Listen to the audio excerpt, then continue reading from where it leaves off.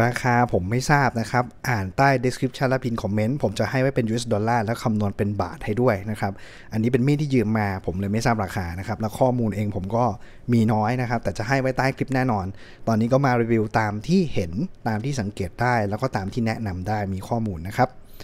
ตัวนี้คือ CRKT ชื่อเต็มคือ Columbia River Knife and Tool Company นะครับ for those who serve นะครับสำหรับ ผู้ที่รับใช้ชาติประมาณนั้น serve คือแบบ service นะครับก็เหมือนกับเป็นคำสดุดีเจ้าหน้าที่นะครับไม่ว่าจะเป็นเจ้าหน้าที่ดับเพลิงเจ้าหน้าที่กู้ภัยตำรวจทหาร ยามฝั่งหรือว่าอะไรก็ตามนะครับ for professional use สำหรับมืออาชีพนะครับใช้งาน crkt.com Columbia River Knife and Tool มีดเล่มนี้ถูกยืมมานะครับ ผมยืมมาไม่ได้ซื้อเองเนาะเพราะฉะนั้นก็ขอบคุณเจ้าของมีดมากๆนะครับ แล้วก็เรื่องราคาเรื่องรายละเอียดสเปค อ่านใต้คลิปได้อีกครั้งหนึ่งเลยนะครับ รุ่นนี้มีชื่อรหัสว่า K220KKP Foresight นะครับ ชื่อรุ่น Foresight Product of ไต้หวันทำในไต้หวันมาดูกันเลยนะครับข้างใน ผมไม่มีข้อมูลรุ่นนี้เลยนะจริงๆ ไม่เคยเห็นเลย แต่ว่าพี่เจ้าของเขาเห็นก็ ผมยังไม่ได้รีวิวก็เลยส่งมา CRKT เป็นมีดสัญชาติน่าจะเป็นอเมริกันนะครับ ก็จะมีแหล่งผลิตอยู่หลายที่แล้วก็รุ่นที่เป็น อะไรอะเป็นตัวที่แบบขายดีชื่อดังของเขาก็จะเป็นที่นิยมอย่างเช่น M16 นะครับ M16 หรือว่ารุ่น Squish หรือว่ารุ่นที่ collaborate กับช่างมีดหลาย ๆ คนนะครับ ไม่ว่าจะเป็น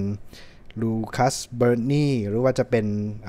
กิฟฟรินนะครับ รวมถึงเล่มนี้จะเป็นเคนโอเนียนนะครับ ซึ่งเคนโอเนียนเองในวงการมีดก็จะทราบดีว่าเขา collaborate กับมีดหลายยี่ห้อเลย โดยเฉพาะเคอร์ชอ ZT แล้วก็ CRKT นะครับ ตัวมีดเนี่ยผมต้องบอกเลยว่าผมแปลกใจมากเพราะว่าด้ามเขาดูแปลกมากนะ มันจะเป็นหยักๆอย่างเงี้ยเหมือนเป็นร่องนิ้วนะครับเนี่ยเวลากำก็จะอยู่ในร่องพอดี ซึ่งดูผ่านๆมันก็เหมือนกับปีกข้างคาวอะไรประมาณนี้เพียงแต่มันไม่แหลมนะครับ ส่วนวัสดุด้ามเนี่ยเท่าที่สังเกตดูน่าจะเป็น ไม่แน่จะเป็นโลหะหรือเป็นอะไรนะครับน่าจะเป็น glass field nylon นะครับ glass field nylon GFN GRN หรือว่าเป็น FRN หรือบางคนจะเรียกไซเทลเรียก กรีบอรี่เรียกอะไรก็เรียกไปนะครับ แต่เอาเป็นว่ามันเป็นวัสดุสังเคราะห์ที่มีความเหนียวนะครับ ประมาณหนึ่งคล้ายๆพลาสติกแข็งนะครับ พร้อมกับทำผิวแบบเหมือนเป็นลายตะบุ่มตะป่ำเล็กๆนะครับเหมือนเป็นลายพ่นทราย อันนี้ก็จะช่วยเพิ่มความกระชับในการจับถือมากขึ้นนะครับ ผิวมันสักๆเนาะ นอกจากนี้ก็จะมีร่องนิ้วนะครับสี่ร่องด้วยกัน ส่วนด้านหลังก็จะเป็นการเว้า ตัวด้ามมีดเนี่ยจะมีความโค้งมนบริเวณหลัง แล้วก็เรียวรีบลงบริเวณส่วนปลาย ดูผ่านๆก็คล้ายๆหมึกหมึกกระดองอะนะเหมือนกันเนาะนะครับหลังมีดตรงนี้จะเปิดช่องให้ทำความสะอาดเช็ดล้างได้ง่ายนะครับ แล้วก็ตรงนี้จะมีตัว spacer stand off หรือจะเป็น washer นะครับเป็นตัวแบ่งแยกเฟรม 2 ฝั่งนี้ น่าจะเป็นวัสดุสังเคราะห์เหมือนกันนะครับแต่ผมไม่แน่ใจว่ามันเป็นประเภทเดียวกันไหมเพราะสีมันดูไม่เหมือนกัน อันนี้มันจะออกแบบน้ำตาลแดงๆหน่อย อันนี้เป็นน้ำตาลน้ำตาลมืดๆดำๆเลยนี่มันจะออกน้ำตาลนิดๆส่วนฮาร์ดแวร์ที่มีครับจะเป็นสกรูยึดไว้นะครับซึ่งสกรูนี้จะเป็นสีดำท้ายมีรูสำหรับร้อยเชือกร้อยสายล่ามหรือว่ารู lanyard นั่นเองนะครับคลิป การ carry มีดมีแบบ tip down ด้านขวาเท่านั้นนะครับด้านซ้ายไม่มีย้ายตำแหน่งได้ไหมเท่าที่ดูน่าจะไม่ได้นะครับ เพราะว่า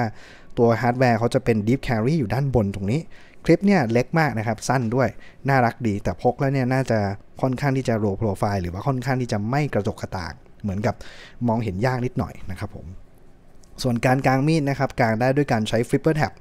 ด้านหลังตรงนี้นะครับ กระตุกเกี่ยวตรงนี้นะครับ มีดก็จะถูกกางออกมา ซึ่งตัวมีดเองเนี่ยเมื่อกางออกมาแล้วเนี่ยหน้าตาเขาก็จะดูแบบ เออ ดูแบบสวยนะผมว่าเออบางคนบอกหน้าตาแบบดูแล้วครินช์ดูแล้วแบบสะดุ้งดูแบบอะไรอย่างเงี้ยแต่ผมว่ามันก็สวยดีนะนะหรือใครว่าไงเพื่อนเพื่อนพี่ๆดูแล้วลองคอมเมนต์กันหน่อยว่า สวยหรือไม่สวยนะครับกด 1 กด2เลยกด 1 สวยกด 2 ไม่สวยหรือหรือว่ากด 0 กด 0 ไม่สวยกด 1 สวยอย่างเงี้ยก็ได้นะครับหรือคอมเมนต์กันว่าความเห็นเป็นยังไง แต่ผมขอบอกไว้เลยว่า ความสวยไม่ใช่ประเด็นประเด็นคือการจับถือเนี่ยผมว่ามันถนัดมากนะครับ เดี๋ยวเราลองวัดกันคร่าวๆ แล้วกันว่ามีดเล่มนี้มันยาวเท่าไหร่กันแน่นะครับมิติของมีดแต่สเปคละเอียดนะไปอ่านใต้คลิปได้เลย ความยาวของด้ามนะครับอยู่ที่ 13เซนติเมตรหรือประมาณ 5.1 นิ้วนะครับแล้วกางออกมาเนี่ยใช้การกด flipper tab ด้านหลังนะครับไม่ได้เป็นมีด auto เนาะใช้การดันเลื่อน flipper tab แล้วมันจะ shoot มีดออกมานะครับ เมื่อกางออกมาแล้วความยาวของมีดเนี่ย เมื่อวัดได้อยู่ที่ประมาณ 22 นะครับ หรือว่า 21.8.9 เซน ประมาณ 8 จุด 8.6 8.7 นิ้ว ไม่ถึง 9 นิ้วนะครับ ถือว่าค่อนข้างที่จะเป็นมีดที่ใหญ่พอสมควรเลย แล้วก็ตัวใบมีดในยาวประมาณ9เซนติเมตรหรือประมาณ 3.5 นิ้วนะครับ โดยประมาณ ความกว้างก็เดาว่าประมาณนิ้ว นิ้วครึ่งมั้งประมาณนิ้วครึ่งนะครับ ไม่ถึงนิ้วครึ่งดีประมาณเกือบเกือบจะนิ้วครึ่งนะ สันก็ประมาณน่าจะ 3 มิลนะครับสมิลกว่าอะไรประมาณนั้น ตัวโครงสร้างของด้ามเนี่ยจัดเป็นส่วนที่น่าสนใจมากในเล่มนี้ เพราะว่าด้ามเขาเนี่ยน่าจะออกแบบมาเพื่อความสะดวกสบายในการจับถือเป็นพิเศษเลย เพราะว่าหลังโค้งนะครับ จับแล้วอุ้งมือตรงนี้ มันจะอยู่ในบริเวณที่ support มีดพอดี ส่วนร่องนิ้วเนี่ยบางคนอาจจะชอบนะครับ บางคนก็ไม่ชอบเพราะว่ามันอาจจะดูไม่ค่อยสวยนะครับ แต่จับถือเนี่ยมันรู้สึกดีนะเพราะว่าช่องที่เขาทำไว้เนี่ยมันมีการสกู๊ปแล้วก็มีการปาดออก นะครับประกอบกับด้านหลังที่มันโค้งมนเข้าในร่องมือ แล้วด้านล่างตรงนี้ก็จะเป็นร่องนิ้วด้วยนะครับส่วนบริเวณด้านหน้าตรงนี้จะเป็น finger choil นะครับหรือว่า finger guard ที่มีขนาดค่อนข้างใหญ่ พร้อมกับการซ่อนระบบล็อก ซึ่งเล่มนี้เป็นระบบล็อกที่เรียกว่า liner lock นะครับล็อกจาก liner ด้านใน มีตัว lock bar ที่เป็นสแตนเลสเด้งขึ้นมาขวางใต้หลังใบมีด แล้วก็เวลาจะปลดล็อกก็คือดันตัว lock bar ให้อ้าออกลักษณะนี้นะครับ แล้วพับใบมีดกลับเข้ามา ตัวใบมีดเนี่ยเป็นใบมีดที่มีความหนากว้างนะครับ แล้วก็ทรงของมีดเป็นทรง drop point นะครับ บางคนเรียก spear สันจะมีการคราวมาตรงนี้นะครับเราจะมีการลบเหลี่ยมด้านบนออกมาทั้งหมดเลย ผิวก็จะเป็นสีดำๆ เท่าที่ดูเนี่ยไม่แน่ใจว่าเป็น diamond-like carbon หรือจะเป็น titanium carbonitride หรือเป็น black oxide นะครับ เพียงแต่ว่าผิวเนี่ยมันจะออกดำแล้วก็เนียนๆนะครับ ซึ่งด้านบนตรงนี้ก็จะบอก first production คือผลิตรอบแรกครั้งแรกนะครับ ชื่อรุ่นชื่อยี่ห้อก็เป็น CRKT นะครับ ส่วนฝั่งนี้ก็จะมีรหัสนะครับเป็น IKBS นี่เป็นประเภทของระบบช่วยกาง เป็นจุดหมุนนะข้างในจะเป็น ball bearing นะครับ อยู่ข้างในทำให้มีดกางออกมาง่าย แล้วดีไซเนอร์ของเจ้ามีดเล่มนี้คือ Ken Onion นะครับดีไซน์ ชื่อรุ่นคือ Foresight นะครับ แล้วก็รหัสประจำรุ่นตัวนี้คือ K220 KKP ทรงใบมีดเนี่ย บางคนจะบอกว่ามันเป็น spear เป็น drop ก็ไม่ต้องเถียงกันเป็นทั้งคู่ก็ได้นะครับ